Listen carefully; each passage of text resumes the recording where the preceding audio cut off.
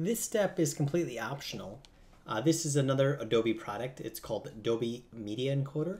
And what this does is it does a good job of making the file size much smaller. So the way that I'm going to do this, I'm going to click in this area here. I'm going to go find my file. So if I go into Snowman, Clips, I can see here's the Snowman animation. I open it up. And that's it. That's all I have to do. And now I'm just going to hit this play button. And really with the default settings, it should uh, it shouldn't even take very long. Now let's see what happens. If I go back to your snowman clips. Okay, here's the one we did is 148 megabits, and the new one is only four megabits. Okay, so now if I play this, it should look pretty much exactly the same. All right, so congratulations. I hope you really kind of enjoyed this uh, first look at Maya.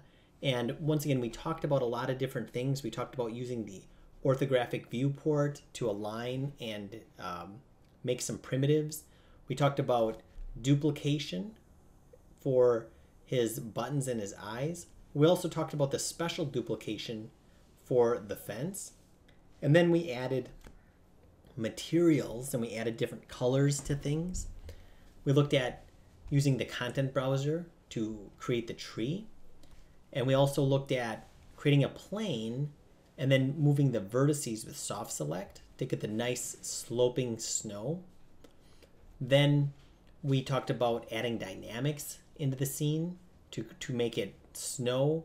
We added a texture to each or to one snowflake and then we applied that texture to all the snowflakes along with its transparency.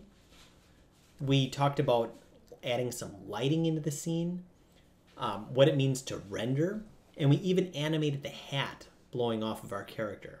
So once again, I feel like we covered a lot of different concepts, and hopefully this helps you um, get a sense of how Maya is organized. So thank you very much. We'll see you later.